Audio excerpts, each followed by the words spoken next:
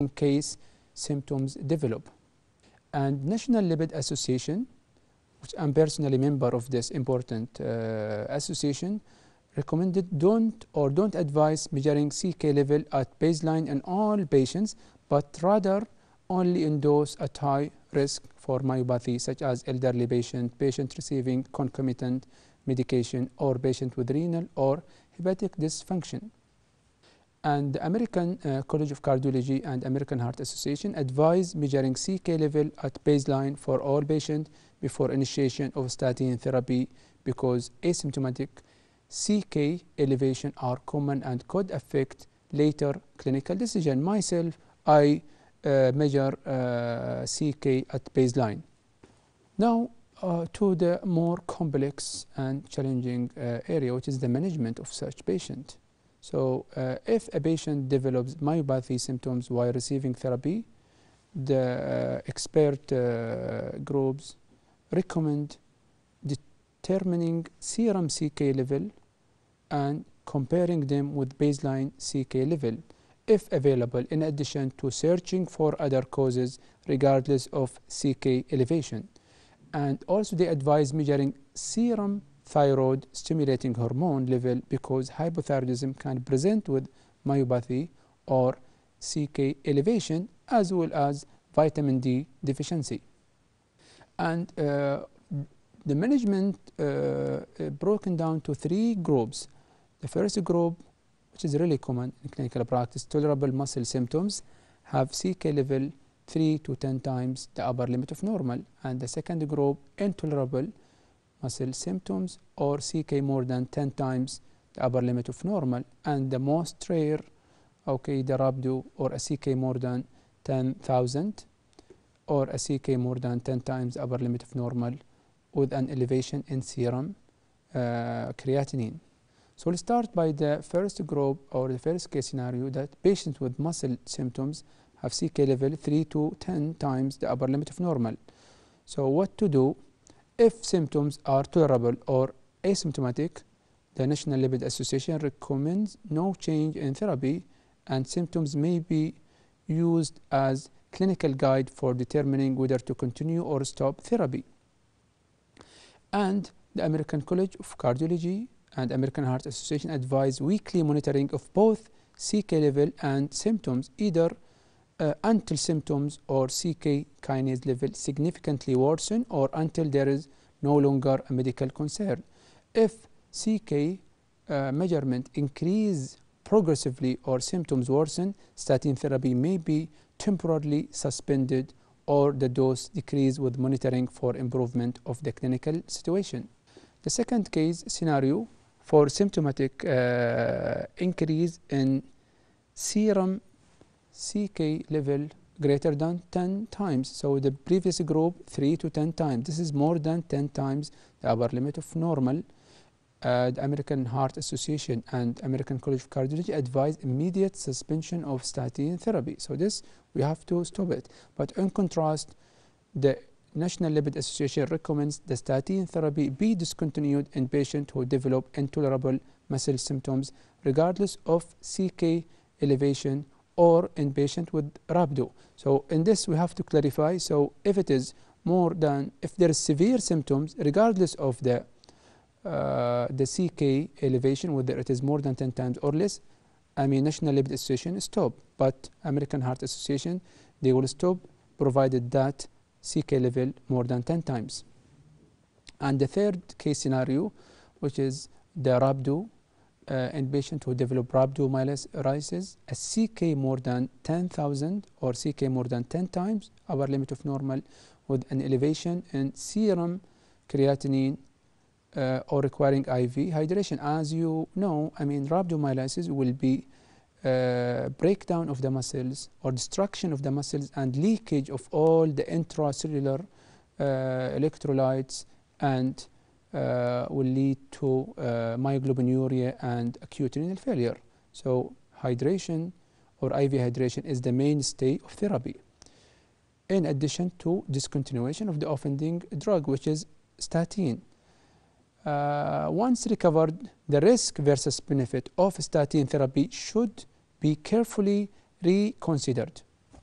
Okay, so the management, the options for managing statin myopathy include statin switching, particularly to fluvastatin, which is the least potent, or low dose rosuvastatin, or non-daily dosing regimens, or non-statin alternatives such as ezetrol or ezetimibe and bile acid binding resins, and coenzyme Q10 supplementation. So starting by uh, switching the statin, the PRIMO study, which I uh, mentioned earlier in my previous slide, uh, showed that patients receiving fluvastatin had fewer myopathy symptoms than this dose receiving lovastatin, simva or atorvastatin. And also no case or no single case of fatal rhabdomyolysis has ever been reported with the fluvastatin because the least uh, potent. And a randomized double-blind double placebo trial recently evaluated the safety and efficacy of two 12 weeks of treatment using extended release fluvastatin 80 milligram alone, ezetimibe 10 milligram per day alone, or the combination among 90, 199 patients with symptomatic myopathy after receiving other statins. And because high statin dose and drug-drug interactions are risk factor for statin myopathy, rosuvastatin may be considered because it uh, comparably decreases LDL cholesterol level at approximately 50% of the dose of atorvastatin, 10 milligram of uh, rosuvastatin equivalent to 20 of uh, atorvastatin and 20 of rosuva equivalent to 40 and uh, the rosuvastatin is metabolized by CYP2C9 which has a theoretical benefit in patients receiving several medications. We have to pay uh, attention. Uh, this isoenzyme also uh, metabolizes warfarin. So we have to uh, exercise extreme caution when we combine warfarin with uh, rosuvastatin or crestor. And non-daily dosing of statins so atorvastatin, this is important uh, fact, atorvastatin and rosuva have relatively long plasma half-lives, 15 and 20 hours respectively. So the longest half-life is uh, rosuvastatin, which is 20 hours, which renders the potentially suitable for non-daily dosing regimens to lower LDL cholesterol level while possibly reducing adverse effects. Like in our patient, we after uh, recovery of uh, the symptoms and uh, CK we challenge the patient with non-daily uh, dosing of uh, rosuvastatin. It was uh, 10 milligram three times per week. And it did well. The patient did not have recurrence of the rhabdo or statin related myopathy. And alternative day atorvastatin has been studied in hypercholesteremic patient. It also, the half-life is long, uh, like 16 hour. A double-blind placebo-controlled trial of 35 patients receiving atorvastatin 10 milligram versus alternate day atorvastatin 10 milligram showed LDL cholesterol reduction of 38% and 35% respectively with no development of myopathy. So they are equivalent, okay?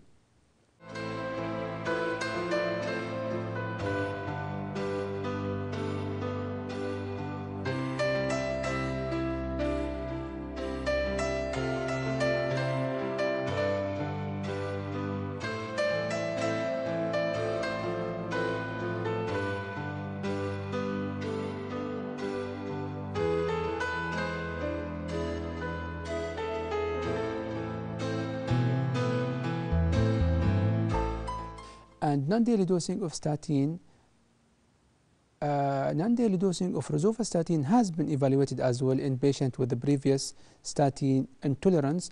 And among 51 patients with previous statin intolerance who received rosuva 5 or 10 milligram mean 5.6 milligram per day on alternate days for a mean of 4.6 uh, months. The mean LDL cholesterol reduction was 34.5 and 80% of patients had no recurrence of myalgia. Uh, once weekly rosuvastatin 5 to 20 milligram resulted in statin uh, tolerance and a mean LDL cholesterol reduction of 29 uh, percent among eight patients with previous statin intolerance. Like for some patients who are really they don't want to take daily, I mean uh, statin, we can sometimes okay case by case we give uh, I mean non-daily dosing or once weekly. Ezetrol or ezetimibe uh, decreases LDL cholesterol levels by targeting the NPC1L1 transporter and inhibiting intestinal cholesterol absorption as monotherapy decrease uh, LDL about 18% and the addition of uh, ezetimibe to existing statin therapy causes LDL cholesterol reduction similar to those achieved with higher dose of statin alone. So this is uh, another uh, management option. Then uh, bile acid uh, binding resins uh, such as cholestyramine uh, and cholestyramine they interrupt enterohepatic recycling of bile acids in the terminal ileum as a monotherapy decrease LDL 15 to 26 percent. Coenzyme Q10 supplementation, uh, as you know, coenzyme Q10 depletion may play a role in statin myopathy, and some clinicians recommend that patient taking statin take coenzyme Q10 to try to prevent uh, myopathy. However, the evidence from two randomized control trials found no significant difference in myalgia score and because of a lack of firm evidence, a recent systematic review did not recommend routine use of coenzyme Q10. However, supplementation still might be considered in some patients who don't benefit from uh, other uh, approaches. And I have used it uh, personally during my fellowship training in Canada uh, and uh, proved to be effective. Okay, so the approach, this is a summary uh, slide uh, it will summarize the whole presentation approach to patients with a history of statin-associated myalgias. So number one, uh, initiate or intensify therapeutic lifestyle changes, which is very important for all patients. And number two, decrease statin dose. Three, discontinue statin and re-challenge at a later uh, date. And number four, reduce dose of statin and uh, add ezetimibe. And number five, use a different statin or statin-like uh, supplement. So you can use fluvastatin, which is the least potent, 80 milligram, or rosuvastatin at lower dosage or non-daily dosing, or weekly. And atorvastatin you can use again uh, similar to rosuvastatin three times uh, weekly. Then again uh, important uh, to use uh, pulse statin uh, therapy and uh, switch class of lipid lowering agent to use ezetimibe alone or combined ezetrol or ezetimibe and the cholestyramine and important to check vitamin D level and replenish F flow and uh, low density lipoprotein cholesterol apheresis in some uh, clinical setting and to add coenzyme Q10 ubiquinone 200 milligram per day to statin therapy. Now I'm coming to the end of my presentation. Thank you uh, very much for listening.